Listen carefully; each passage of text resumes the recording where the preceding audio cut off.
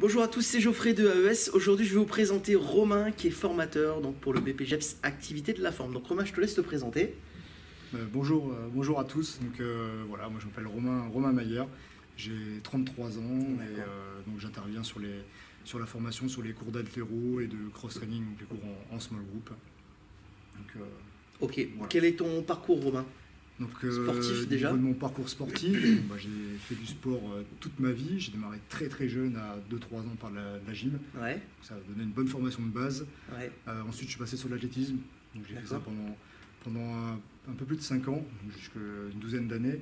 ouais. Euh, donc essentiellement de la, des sauts, longueur et sprint de cours. ouais. J'étais déjà spécialisé là-dedans. Et ensuite, je suis parti sur, euh, sur l'haltérophilie. Donc, l'haltérophilie, c'est une tradition familiale. ouais. Le grand-père, euh, triple sélectionné olympique, entré dans national. L'oncle, mon oncle et mon père, euh, internationaux aussi. Donc, euh, voilà, le virus est arrivé comme ça. Et euh, donc, j'ai démarré en 97. Donc, euh, là, ça fait un peu plus de 20 ans de pratique aujourd'hui. D'accord, donc après l'athlé, tout de suite la. Tout de suite altéro. J'ai fait pendant un an les deux. Et au bout de six mois d'altéro, j'étais qualifié aux France. Et deux ans après, j'étais champion de France. Donc euh, forcément, ça motive. Et euh, voilà, donc derrière, après, j'ai intégré les équipes de France aussi à mon tour. Et euh, donc j'étais en internat au Crêpes de Wattignies, sur le l'INSEP, sur Paris pendant Ouais. trois ans. Et donc voilà. D'accord. Donc là, en parallèle de, de cette pratique en haltérophilie, tu es coach sportif. Oui. Donc tu as un BP. Ouais. BP GEPS A- à G2F que tu as Alors non, j'ai un BE, BE deuxième degré à Cumèze. Ouais, Et j'ai également une licence TAPS et entraînement sportif. d'accord, J'ai ok. j'ai cumulé les deux diplômes. Donc que tu as passé en Euh, alors le, le BE2, je l'ai obtenu en 2008. D'accord, Et la licence Et BE1, en alors 2006. Le BE1, je l'ai eu en 2006. d'accord, ok.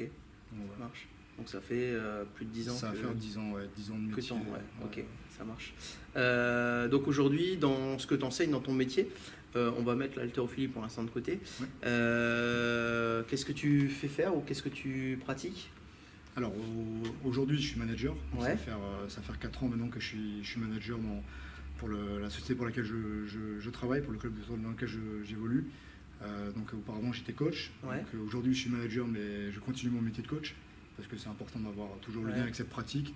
Et donc, euh, bah, j'enseigne seulement, essentiellement des cours de, de cross-training, donc euh, du cours de, des cours en small group, du renforcement musculaire, mais euh, voilà, pas de travail en, en musique ou vraiment D'accord. cours typé très fitness. Pas de cours Ouais, court, vraiment, ouais, cours en small group. Donc plateau, cross-training. Plateau, cours de TRX, kettlebell, voilà, tout ce genre de choses. Et est-ce que tu interviens donc sur des clubs, par exemple d'haltérophilie, en tant qu'entraîneur aussi Alors auparavant, euh, avant de, de bosser dans la boîte sur laquelle je suis aujourd'hui, j'étais euh, salarié de mes clubs euh, d'altéro. Ouais. Donc bah, j'étais encore athlète de haut niveau à l'époque, donc j'étais payé à la fois pour, pour entraîner, entraîner les équipes Ouais. et, et en même temps pour moi également m'entraîner. Donc c'est voilà, c'est j'ai d'abord évolué, donc, évolué au niveau de la SPTT, c'était un, Mhm. un club dans le coin, puis ensuite au, Luc Haltérophilie.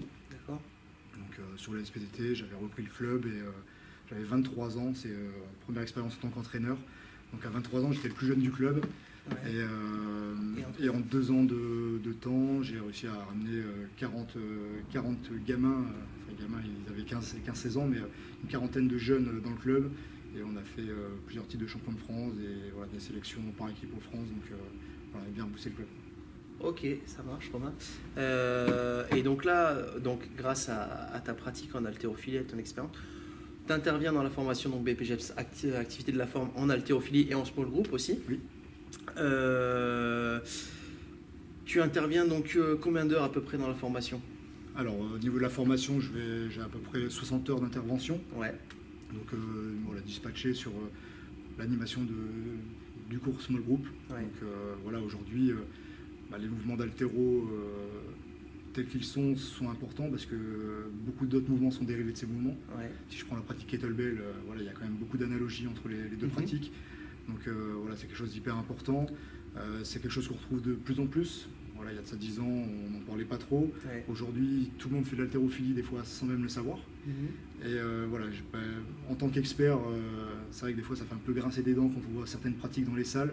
Et voilà, il- je pense que c'est- vraiment bénédiction en tout cas que l'altéro ait été intégré sur les, Ouais, sur les c'était la question. en fait. Qu'est-ce que tu penses du fait que l'haltérophilie soit intégrée donc euh, au BPGEPS de coach sportif Euh, Voilà, aujourd'hui c'est sur le marché du fitness, c'est utilisé quasiment par tout le monde. Donc le CrossFit a, amené cette, cette, cette méthode d'entraînement. le problème, c'est que bah, aujourd'hui, ce n'était pas inclus dans les, dans les cursus de formation. Et voilà, c'est comme tout sport, on n'apprend pas l'haltérophilie en deux jours en faire un séminaire. Il faut de la pratique, il faut qu'on nous enseigne, il faut que ce soit encadré par, par des professionnels et des diplômés, des personnes avec un diplôme spécifique. D'accord, ok, ça marche Romain.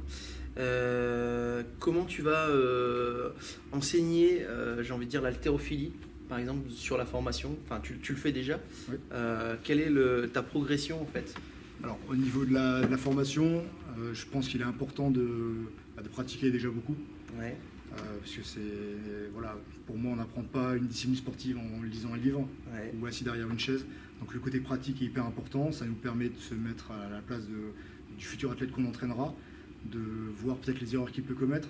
Donc euh, voilà, ça permet de, de d'acquérir un peu tout le cursus de, formation euh, et d'apprentissage.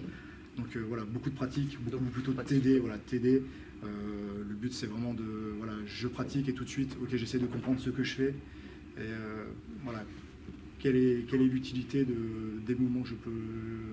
Voilà, le, en tout cas, le, pour moi, le fait d'associer pratique euh, et, contenu, c'est indissociable. Il faut faire les deux en même temps, mais on ne peut pas voilà, juste être euh, emmagasiné de l'info et sans avoir pratique.